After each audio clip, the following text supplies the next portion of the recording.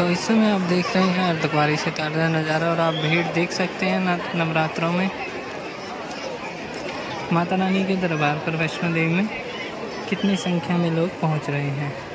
और मैं आपको बता दूँ, जहाँ से पहले आप पर्ची लेते थे गर्भ जून की, वो अब चेंज हो गया है। तो अब आपको यहाँ से सीढ़ियाँ चढ़ कर आना पड़ेगा और यहाँ पर काउंटर है।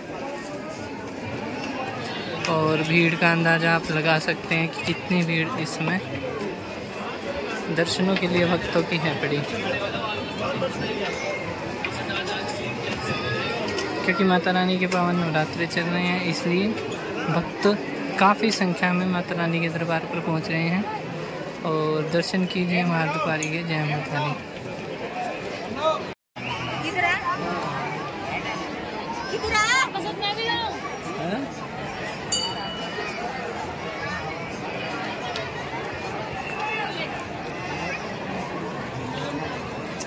तो ये पर्ची लेनी होती है आपको, अगर आपको गर्भजन गुफा के दर्शन करने हैं। और लगभग 48 घंटे का वेटिंग समय इसमें चल रहा है अभी फ़िलहाल। भीड़ को देखते हुए लगभग 48 घंटे, लगभग दो दिन लग जाएँगे आपका नंबर आने में।